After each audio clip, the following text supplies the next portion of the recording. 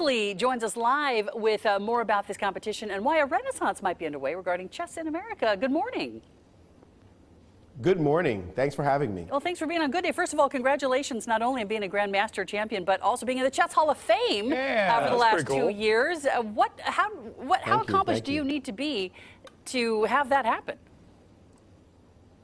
Well, there are a number of grandmasters here in the World Chess and U.S. Chess Hall of Fame. It depends on what you've accomplished in your career. For me, I've been a part of the game now for over 35 years, and I've coached national championship team, writ teams, written books, uh, designed apps, done commentary uh, for championships like this one. And I played a little bit as well, so it, has been quite a ride. Outstanding. 35 years, so clearly you started when you were two. yeah. Um, so is, is chess making a comeback? I mean, it, it, seems like more and more people are playing it. You know, it doesn't take a lot of, like, you know, you don't have to plug it in. You can just take a board out and, and go play, right? Yes, chess is absolute, absolutely going through a resurgence, especially here in the United States. We've seen it from a lot of the sponsorship that's been given by Rex and Dr. Jeannie Sinquefield. We call it the Sinquefield effect.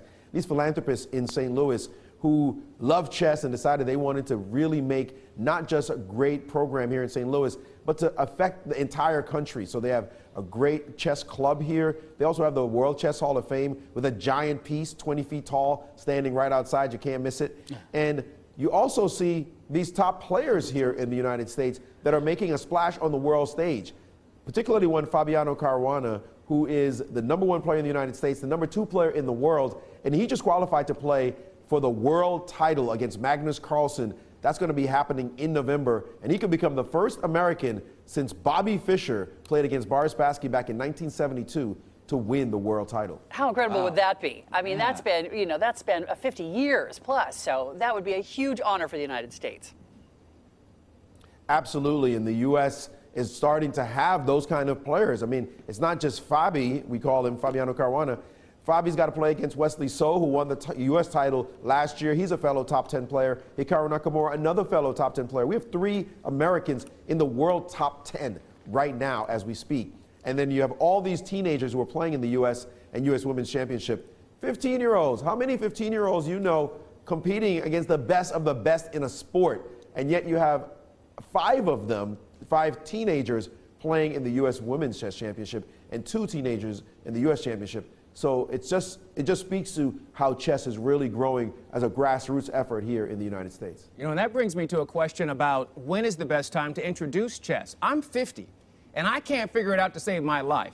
But my seven-year-old son has already figured it out. In your opinion, is it, is it really something that's easier for kids to grasp than later on in your adult life? You know, a lot of adults have this, this kind of stigma around chess, or this stereotype in their mind chess is hard, it's difficult to learn. You probably just didn't learn it the right way, and maybe you need your seven-year-old to teach you. that, you know, you, you get, if you can get, you can get kids started as young as four or five. Probably the ideal age is about six, when they're just learning the right cognitive abstractions. But we've seen four or five year olds pick up the game as well. You start them young so that, you know, when they're 50, they can be bragging about how they learned to play with their dads and their moms. It's a great family game. And last question, just real quick. What is the shortest number of moves that you, in which you have won a chess match? Two moves. Oh, Two moves. What? Come on. You got to really play some bad moves. You're not going to see any of that happening here at the U.S. U.S. Women's Championship. They know those moves. But yes, you make you make a couple of really bad moves, you could go down very Is fast. Okay, like that person wanted to fight you afterwards, right? Yeah. After two moves, you guys had a fight after that. That person had to come over the board and fight you. That's outstanding. Pretty embarrassing. That's pretty outstanding. Isn't it? One of the moves was him just open up the box. Hey, you thanks lose. for joining You're us. Right, that okay. was amazing.